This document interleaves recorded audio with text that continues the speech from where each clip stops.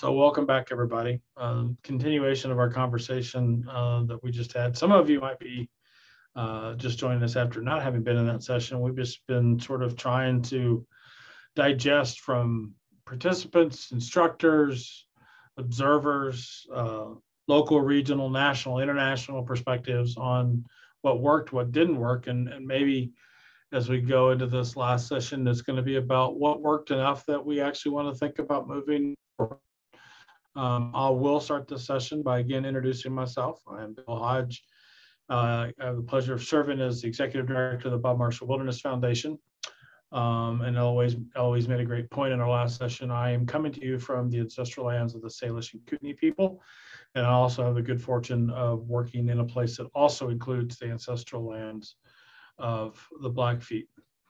Um, very anxious uh, uh, for us to continue to hear from some of the voices that we heard from before. Um, any questions that you guys have about what happens after this week?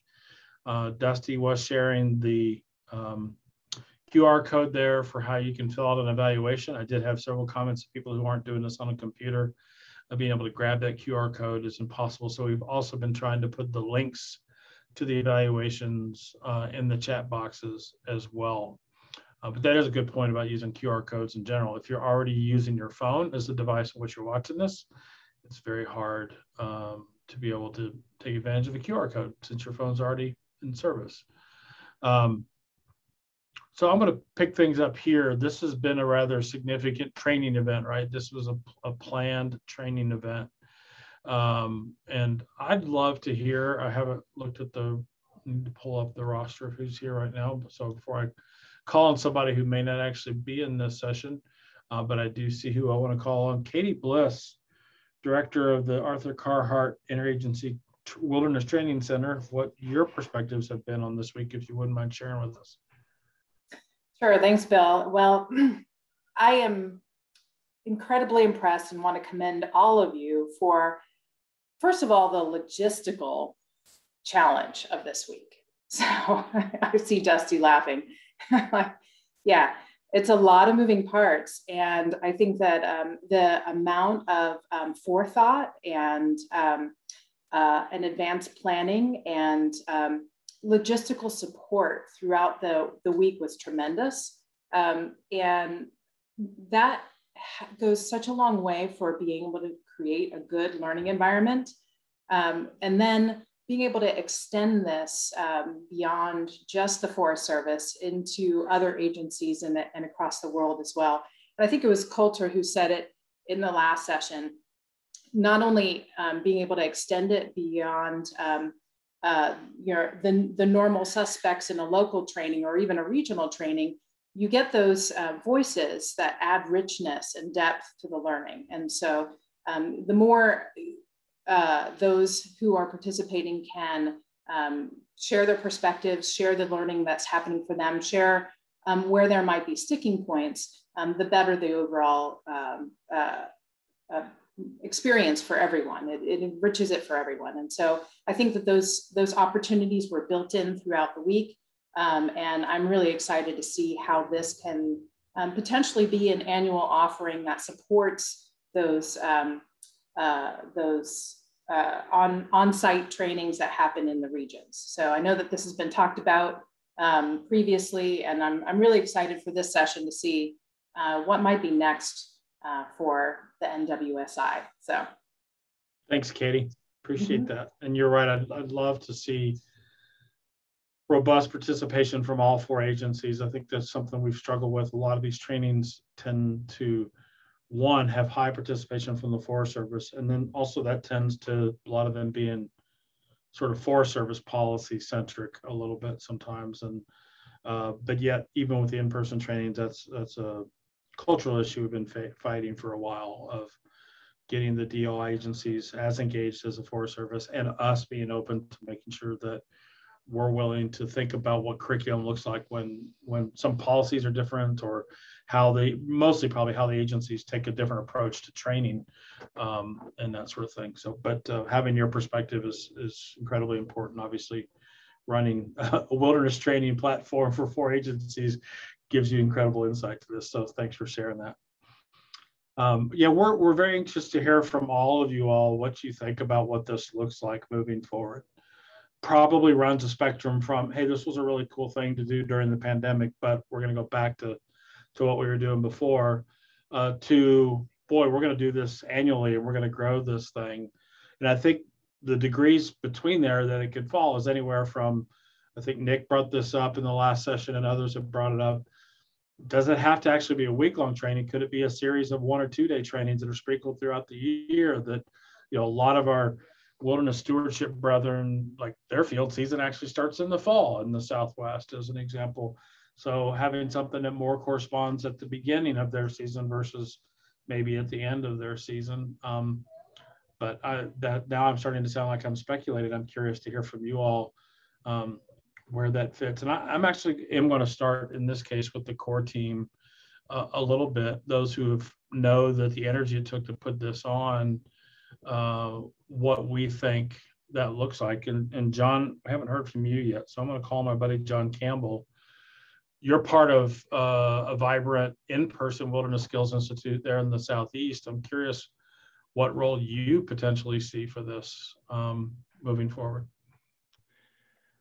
Thanks, Bill. Yeah, I uh, going into the National WSI, um, I, I, wondered what impacts it might have on in-person sessions. Um, you know, I, have been part of uh, planning the WSI in, Region 8 for a few years now, and I was an attendee for for several years before that from the, the work that you and, and Jimmy and the folks at ATC did.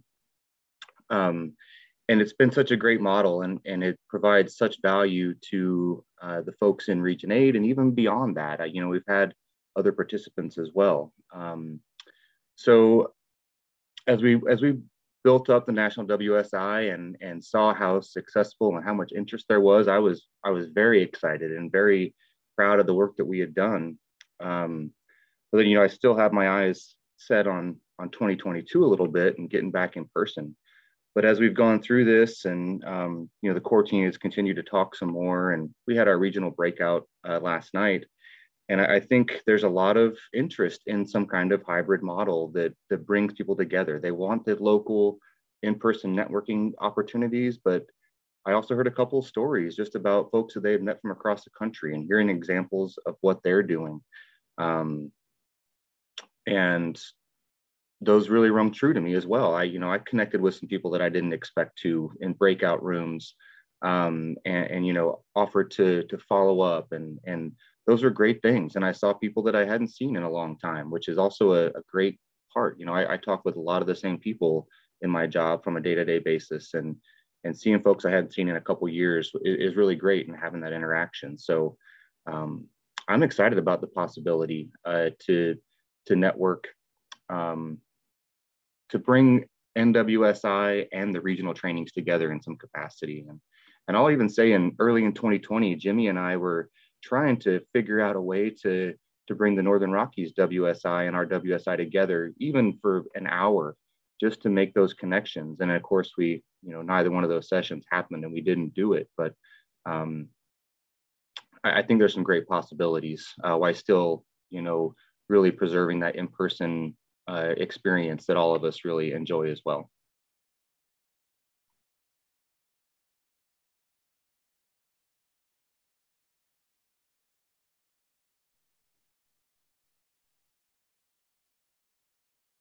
I think you're on mute, Bill. Bill, you're on mute. I could uh, break out my own coffee mug uh, on myself here for a minute, but um, yeah, I think I, there's. I was sharing while I was on mute that I think there's nothing, uh, an expression I like much more than the one right now of nothing. No, none of us is as smart as all of us. Um, there's a reason why I slipped that into our opening script. I love that expression because it's very, very true. Uh, the hive mind is is a powerful mind, and having linking these these regional trainings together. Um, uh, linking these regional trainings with uh, Washington leadership, um, I think is incredibly important. And so uh, thanks for that feedback, John. I, I think one of my big aha takeaways uh, has come from linking the two communities of practice. I tend to live in a wilderness silo. And, and now I feel such a deep connection to my friends at the River Management Society. And, and I actually now serve on the board of a, of a river centric organization called the Flathead Rivers Alliance, uh, which all three forks are, are designated wild and scenic rivers. Uh, uniting those two communities of practice. I don't think we intentionally put a wall between them, but we just sort of it's kind of happened, and uh, that's one thing that uh, that I, my takeaway is is how do we continue to move forward with this? And how do we also continue to make sure we we keep the wall broken down between those two silos? Eric did i see your hand up? Or was that just you acknowledging I, I was uh, uh, agreeing with your comment about the river management uh, society folks and, and the and just the wild and scenic river folks. That was great. Thanks. So i've, I've pinged uh, one or two of our core team, but I'm curious from you participants what you guys would love to see moving forward. I'm also curious about the ways that maybe you think we can hear some additional feedback that maybe this uh, this format isn't the way in which you want to provide it. Uh, whether we want to pop some of our uh, email addresses in the chat box. Were there some things that we really failed at? Um, you know, were there some challenging moments about the way certain things were presented that you would love for us to hear uh, that you're just not comfortable sharing in this environment, which would make a lot of sense to me. Um, you know, Dusty or somebody, you're welcome to put my email address in there. I would love to hear from folks. Um, you know, we um, we tried, uh, and I think all of us have been trying over the over a number of years of recognizing that we have some work to do um, in our community uh, to make it more inclusive, to see our community be more diverse, um, and create equitable access to volunteer opportunities, career opportunities, training opportunities. Um, I don't I don't think we're heading for a destination. I think we're realizing that the journey has to get um, richer uh, by doing the work more intentionally.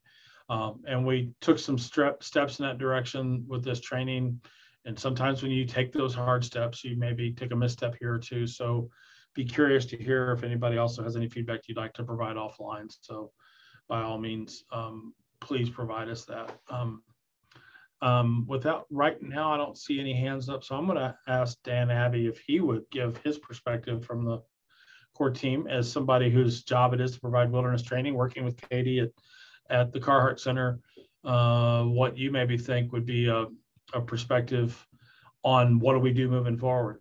Um, is is is this uh, something we do annually? Is this something that gets broken into smaller chunks? And and at some point, the core team is going to have to wrestle with what is the National Wilderness Skills Institute? Is it just the core team that exists today? Is it a rotating board? Um, what's the partnership level of involvement? What's the agency level of involvement? So Dan, do you mind to respond to that real quick?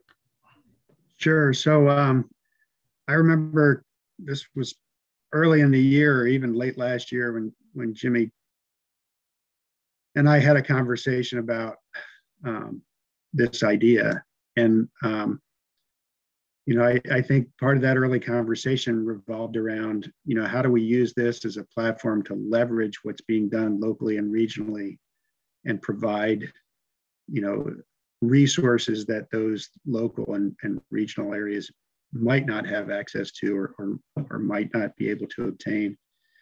And I think we're only limited by our imagination as far as how we go from here. I, I think we've really demonstrated that we can pull people not only from across the country, but um, also internationally um, into a platform that can share knowledge and share experiences. So, you know, whether it becomes something that that's uh, additive to regional stewardship institutes or even local training um, and helps supplement those trainings. Um, or maybe it's just, you know, a community of practice that's like this year, these are some of the things we experienced and we want to share this so everybody's familiar with it. You know, one thing that really struck me and what we're seeing right now um, and hearing about is this tidal wave of visitor use that's going to be coming this summer. All these people that want to get out on their public lands and, and enjoy them, and doubling or tripling um, the numbers of reservations that are being made on places like rec.gov.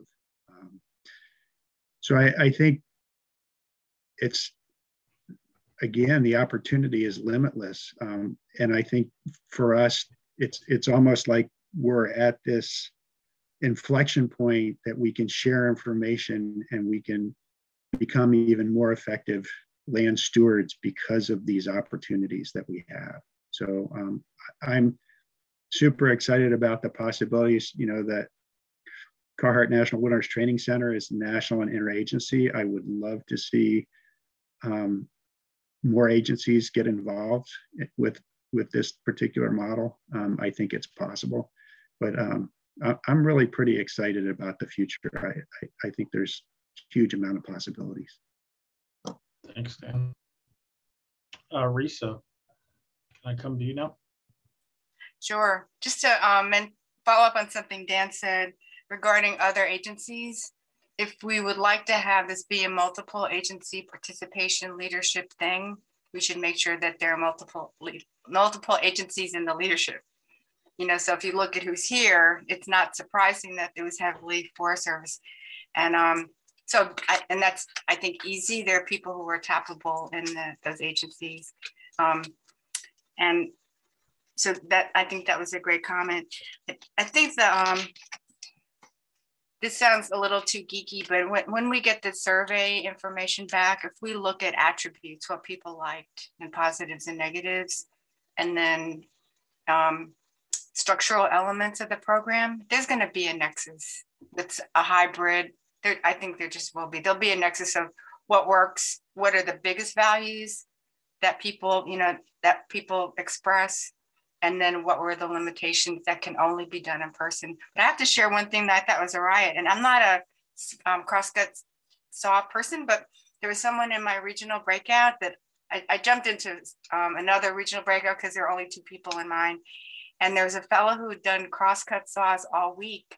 And he said one of the most valuable things was the virtual format because, not all of it, um, because there was a lot that he had time to think about and absorb, you know, just in his own space and to be more thoughtful than he would have heard it and been asked to practice or, or absorb in real time in person. So there's an element of that that he really, not the whole thing again, but that he really appreciated that. I don't think that I was just surprised to hear. So um, that makes things more complicated because it's not an either or. Nothing is an either or. And I would just suggest that whatever we try or whoever the, the new group try, whatever the new group tries, that they view it as a step. They view it as kind of an experiment because whatever we do won't be perfect. Did you, say, did you say the new group? That assumes you're not a part of that group. That sounded. I just said no, no, no. Putting yourself past tense. the evolved uh, group. Yeah, I'd be happy exactly. to be part. Exactly. Um, and then just one other thing on DEI, we could do some great workshops. Uh, instead of talking about how much we suck, how how much how far we have to go, we can do some workshops that are evolving. There are tools that are evolving, and I think it would be great to incorporate that into this program. Yeah, that's that's great feedback, Risa. Thank you. Um, yeah, a lot to chew on. You think about this is going to be able to live on, right? Because all of these sessions have been recorded. They're all going to be on wildernessstewardship.org with the Society for Wilderness Stewardship's website. But what gets lost when you just have to watch them after the fact is your ability to participate. Like today in the Crosscut 4 session, the robust participation is what made it great. Yes, having having Pete Duncan there as the SAL coordinator to help teach and having Dave as the regional SALS coordinator for Region 9 there to teach was great. But what really made it great was was all of the resources within the student pool. And I think that's a compelling reason to keep obviously that's what it that's what makes the in-person institutes and academies so great. But it's also what's made this kind of great is that we've got this larger networked community of practice for rivers and wilderness that i think is is pretty amazing. Um, carol to your hand up.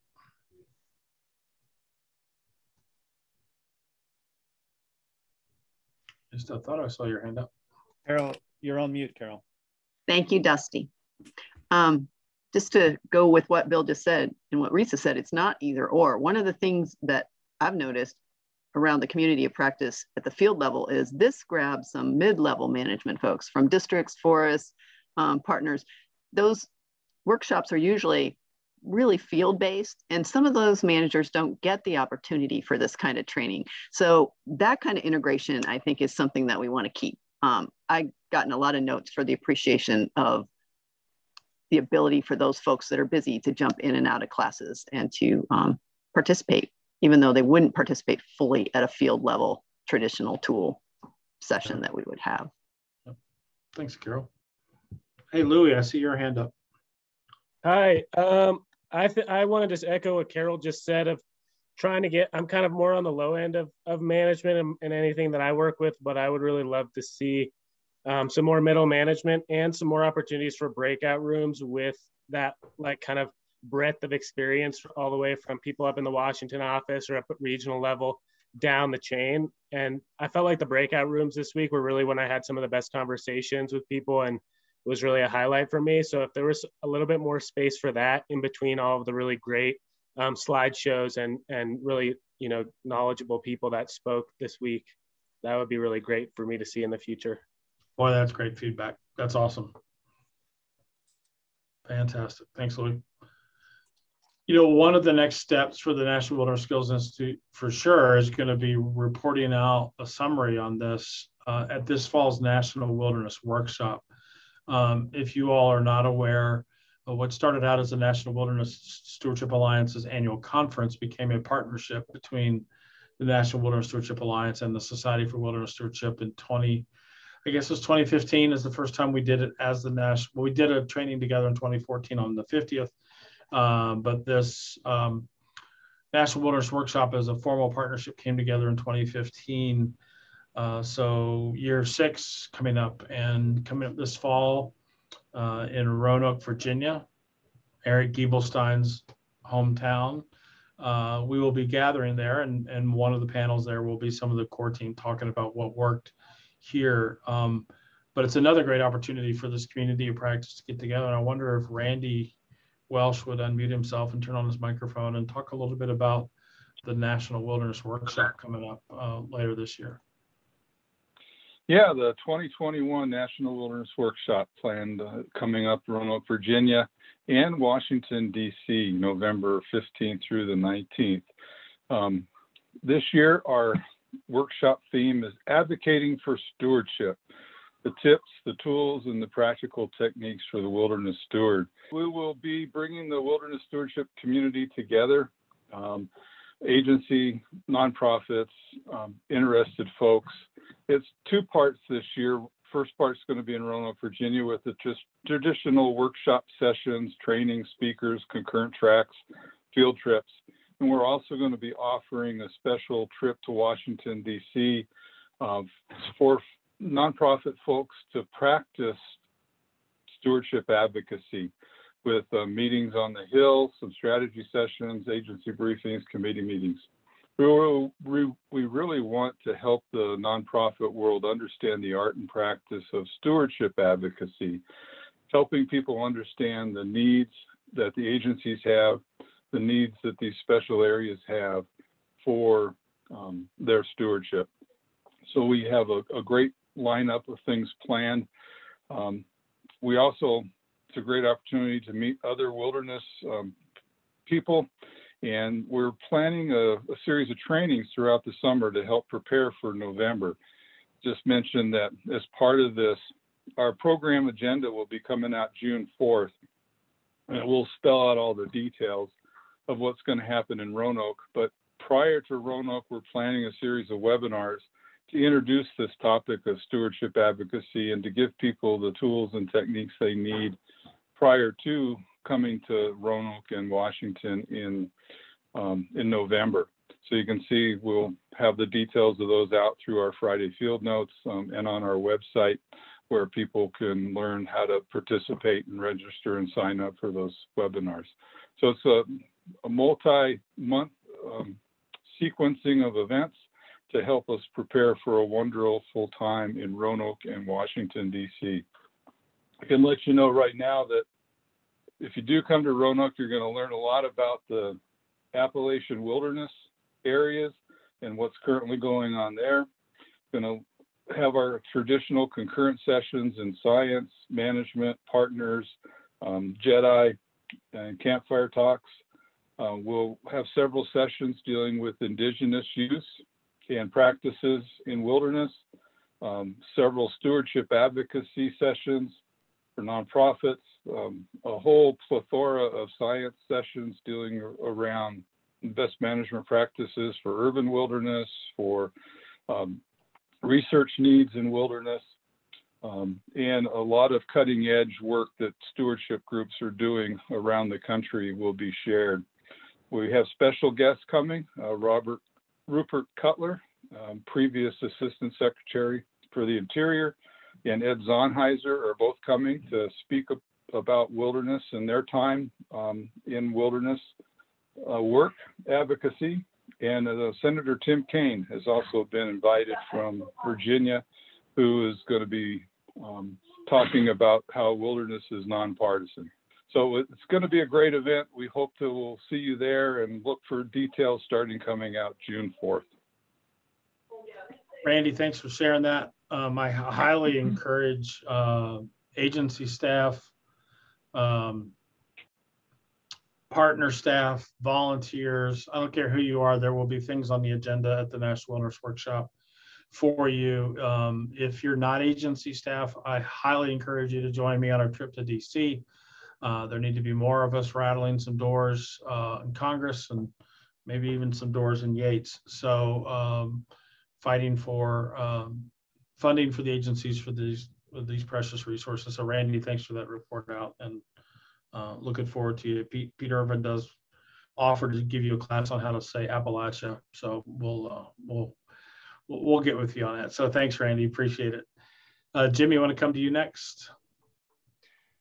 Hey, you bet. Um, and Randy made me think. Um, he's already asked me what the difference between the National Wilderness Workshop the National Wilderness Skills Institute is, and uh, I think it's something we need to think about if we are going to continue down this path. Um, I, I, hope that this is not seen as a conference or a workshop, but truly um, skills building for mostly field staff, but that is inclusive of everyone else we've spoken to. You know, it's great to have line officers and other line officers, meaning district rangers and forest supervisors, learning you know, we'll go back to shoulder to shoulder screen to screen um, with field level staff. I think it helps us all as we move forward to do work.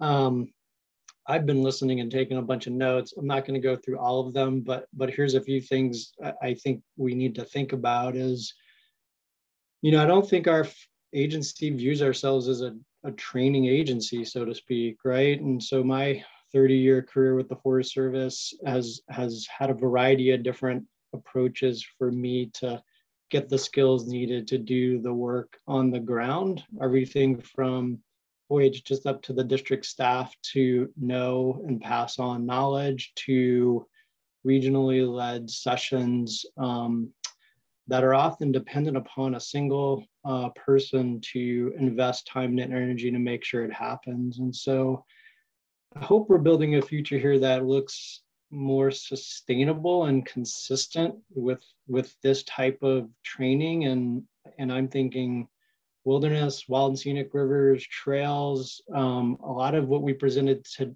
this week goes on to just general recreation management as well and just seeing the connection between uh, hopefully this isn't just training this is actually investing in getting the work done and um, and getting the work done that's usually planned at maybe the um, forest supervisor level or the regional office level. This is a strong connection to implementation in my mind that we need to hang on to.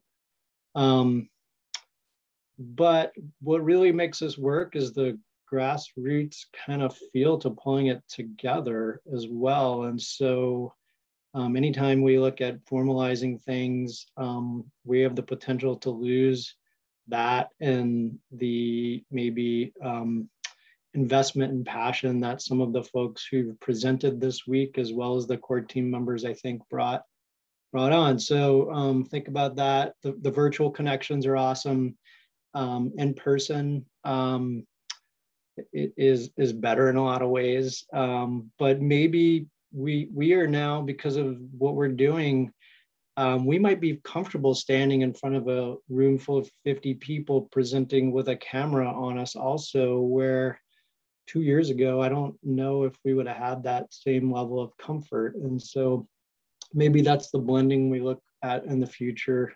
Um, keep in mind that this week, the presenters were all, most of the people who presented were field staff who raised their hand and offered to help teach something. And we're learning at the same time as teaching. And so um, I, I, take to heart the, the idea that um, it would have been great to see native land acknowledgement from each presenter, but some of them may have actually just been introduced to that topic this week as well. And so know that like there's strength in like having the field level folks present, um, but at the same time recognize that we're all here to learn. Um, and then just one last thought, my aha moment, I'll go back to Coulter's question and hopefully other people can think about their aha moment. But um, I only think that Bill Hodge won the Kahoot because his internet was faster than a lot of other folks. You just you just have to make excuses, don't you? You have to make excuses. Who knew that Bill Hodge would win the Kahoot? Um, anyway, um, boy, we've had some fun this week, and uh, the Kahoot was uh, one of the highlights. I know for me and my family, my kids uh, each played on their own computer, which made my computer slower than Bill's. And uh, so, yeah. Anyway, there you have it. Jimmy, there are no excuses in the winning locker room. I'm just going to say that. Uh, plus, I think we also agreed that night that I think it was Jana that actually won. Um, so, but uh, as long as I finished above you, that's all that ultimately mattered. So, uh, thanks for that feedback. Uh, appreciate that. Obviously, you all get a little glimpse into Jimmy and I's relationship. So, uh, yeah, I want to sort of put a point of emphasis on the the what is the NWSI? What does it look like moving forward versus like the National Wilderness Workshop? You know, we're training whether it's field level or management level practitioners through the Skills Institute but we only have those people to train if we have a robust, healthy, and funded cadre of professionals to do that. And that is both on the agency side and the partner side. And the workshop is the intersection of that work, right? It's that intersection of of of the practice of the work, but also the the practice of of how do we have healthy partners? How do we have a loud enough voice with Congress that uh, or agency leadership that the wilderness budgets um, are there to do the work we need to do to preserve wilderness character. And so there is certainly room for both. I think they complement each other very well. Whatever we decide the National Wilderness Skills looks like, Skills Institute looks like moving forward. So have I highly encourage you all to register for this fall. By then, hopefully, it'll be a really great time for us all to get together in person. Uh, I promise you that we'll have an amazing experience for those who are willing to go to Washington, D.C. I know we may not be speaking to agency staff when we say that, but for those in the partner community that want to go to DC, um, something that that I have done quite a bit of fighting for our our wilderness preservation system, and it's uh, it's it's rewarding work in its own route. And, right, it maybe isn't as fun as pulling on a crosscut saw, but it does still serve the purpose of caring for this hundred and where are we now 119 million acre national wilderness preservation system. So, Nick, I see a comment. Uh, your hand up. Yeah, just quickly on that, you know, uh, being that this whole virtual experience is new, and for me as you know a first timer, I thought of everything went smoothly, but um, in your crosscut sections, I did appreciate the pool noodle. I thought that was a great alternative, uh, but I do look forward to getting in the field and getting some real hands-on experience with that. Yeah, yeah, pool noodle can't kill you. The tree can. Just remember that, Nick. That's all we need to remind you. I sure Hopefully will. The pool, pool, pool noodle reminds you how to function. So, but yeah, thanks. And, and uh, I can't take credit for that. I think I, I through osmosis learned that through Dave, and I just happen to be the one that put the pool noodle into into practice. So thanks for that feedback, Nick. That's great. And again, welcome to our community. Uh, we've got just a few minutes left here uh, before a couple of final uh, uh, wrap up elements from Dusty. Um, anybody else? Here's your chance to raise your hand. Tell us what you thought. Tell us what you'd love to see. Um, another hand up. It takes me a minute to find my way to whose hand is up. Stephen I'll Wood. just say that uh, Billy Bob loses trivia points for that wildly inaccurate wilderness acreage statement a Oh. moment ago. making broad generalizations, but thank you, Pete. Um, um, also, further insight into the Bill and Pete relationship. Um, you guys are getting insight into all of uh, all of our relationships here. Uh, Stephen Wood. Um, yeah, I just wanted to kind of, whoops, I'm hitting wrong buttons here. um, I, I, I really enjoyed the online platform. Um, I, you know, and I thought it was amazingly well run. I think that's been iterated very clearly, and I just want to echo that. Uh, but I, I would love to keep doing this just as it was in the future. Um, going through the week, I didn't feel that anything really had to be in person. And I was really impressed by the traditional skills, especially about how well that was done. And in fact, many of the trainings that were the links that were given in the traditional skills were already YouTube videos. Um, so they were already online. So um, I, I just wanted to say that I felt feel that one thing that could distinguish this between the workshop and the individual skills institutes around the country is that it's uh, online training, uh, live in-person online training that uh, has the greater expand as a, the ability to widen the community um, through what we're seeing in front of us right now, the screen. Um, so that that was that was my that was really kind of my big aha moment. Thanks, Stephen. Casey. Yeah, this is um, it's not really feedback, more of just a question. I guess something that has been on my mind this week is I'm down here in the Pisgah National Forest in the southeast, and this is just a very busy time uh, up in Shining Rock Wilderness where I work, and so I know that those two weeks or the, the week that we've been doing this, and we did a training last week that Shining Rock's just been getting a lot of use. Um, the dry fly season, a lot of fishermen. It's just a very busy time up there. And so moving forward, I know the WSI at the cradles at a specific time every year, but if we did something like this again, maybe if we could have it at a date where it's kind of just like a lower part of the season, you know, not as much traffic in the wilderness. Um, yeah, just possibly a better time where we could sit behind a computer and do these trainings where it's just not so busy and wilderness rangers or other people that work out in the field aren't as needed out in, out in their specific wilderness area. Yeah, it's, it's probably not. It's probably not just a call for a different time of year, but a call for maybe doing it in smaller chunks around the calendar, so you don't have to don't have to take a whole week if you want to capture it all, sort of thing. It's just something for us to think about for sure. Um, and please, uh, anybody else, if you want to um, chime in, please raise your hand. Um, and meanwhile, I just, To say it's been a pleasure having everybody here. Before I hand things over to Dusty, I just want to acknowledge the core team one more time. Risa did such a great job of that this morning, but uh, it was no small amount of work. And, and from Risa always bringing a can-do attitude to Angie Furman with who works as also also works with Risa the River Management Society, bringing so many skills and was able to bring forward things that they just learned through their rendezvous uh, just a, a month or two ago. Helped us maybe have our stuff together from a technology perspective um, a little bit more.